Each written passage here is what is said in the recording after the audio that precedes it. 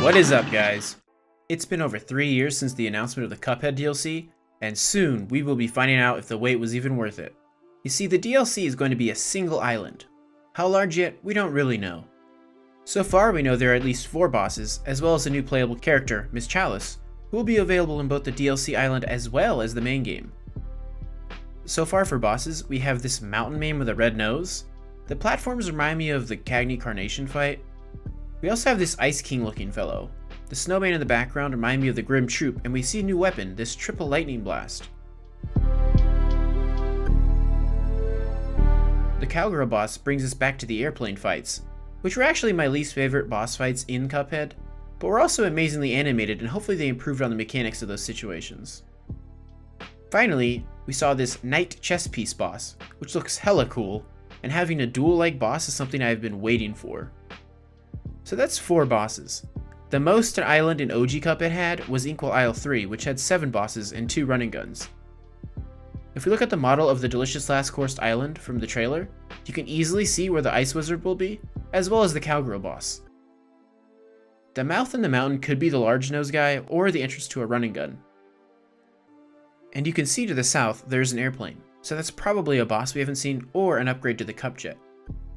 To the far left is a pair of docks, and this is probably where we arrive on the island, so my guess is the first boss will be the chess piece horse down near the stable there, which will then unlock the path to the town.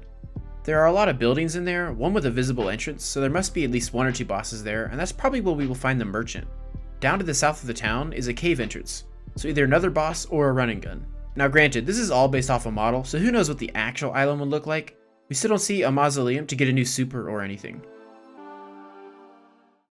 So we are probably looking at around 6 to 8 bosses, and 2 to 3 running guns. That's actually a pretty sizable chunk of DLC. Was it worth the wait? Well, I would say yes. We know how painstakingly long it took the devs to originally release Cuphead, so getting this amount of content done even in 4ish years is quite the improvement. The devs probably also had a large hand in getting the Cuphead Netflix show up and running, so that would have taken time from making the DLC. 8 bosses sounds great, I kinda hope they didn't do any running guns, as I much prefer the boss fights, but that may be an unpopular opinion. The bosses we have seen so far look amazing, and hopefully they have saved the best up for the release. I can't wait to see what surprises and new secrets are added. Who knows, maybe there's even a B-side to the island.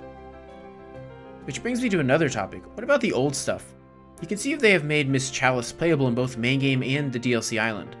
I wonder if they're going to add any secret bosses or levels back to the Inkwell Isles. Maybe new game mode or new rank types? I think the content we get from this DLC will go beyond just the delicious last course island. But I have to keep my expectations in check. The animation process is really slow, so adding content takes time, even if they have found easier methods to process their content. Once DLC Island releases, I think that will be it for the Cuphead game for a while. The devs have stated on record that they really want to make a hand-animated Zelda-like game, which is like a dream come true for me. So watch out for an upcoming video where I break down exactly what they said and throw some theories about what we could see. I also want to do a video on the Cuphead Netflix show, but I haven't decided yet. So let me know in the comments below if you would like to see stuff like that. As always, like, subscribe, or don't, but I love you guys anyways.